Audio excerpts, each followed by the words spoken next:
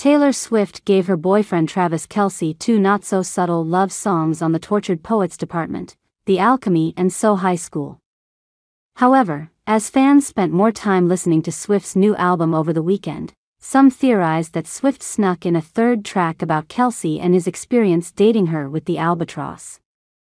The albatross explores the public stigma of being attached to Swift, who seemed to cast herself and her fame as the albatross around her partner's neck. That spotlight was in part what caused her six year relationship with Joe Alwyn to end, multiple sources said following their spring 2023 breakup.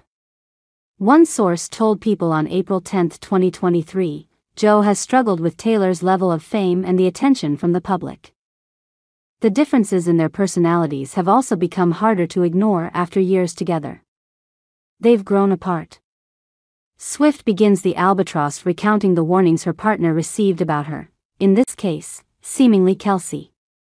She then describes his decision to forge ahead despite them. Wise men once said slash, wild winds are death to the candle, slash a rose by any other name is a scandal slash cautions issued. He stood slash shooting the messengers slash they tried to warn him about her.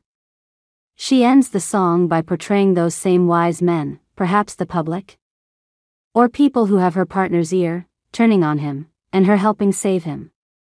She sings, The devil that you know slash looks now more like an angel slash I'm the life you chose slash and all this terrible danger. Kelce has spoken multiple times about choosing to be Swift's boyfriend, despite the harsh spotlight that comes with it. Cautions issued, as Swift sings in the first verse, he has literally stood his ground. The Kansas City Chiefs tight end told Wall Street Journal magazine in November, Obviously, I've never dated anyone with that kind of aura about them. I've never dealt with it. But at the same time, I'm not running away from any of it. The scrutiny she gets, how much she has a magnifying glass on her, every single day, paparazzi outside her house, outside every restaurant she goes to, after every flight she gets off, and she's just living, enjoying life. When she acts like that, I better not be the one acting all strange.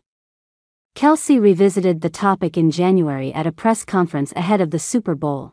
As long as we're happy, we can't listen to anything that's outside noise. That's all that matters. He added, I brought this upon myself, and I do enjoy having fun with it all, and the biggest thing is making sure my focus is right here in this building.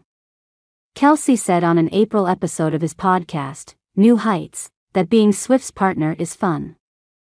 I'm having a blast in life, baby, just flying high, he said. Enjoying it all. Bringing new lives into the football world, opening the football world up to new things. A source told Page 6 in December 2023 that Kelce embracing his boyfriend status has really won over Swift. She just hasn't been with a guy who is so excited and proud to be with her in so long, the insider said. She'd gotten used to having to hide away and lay low whenever she's been in a relationship.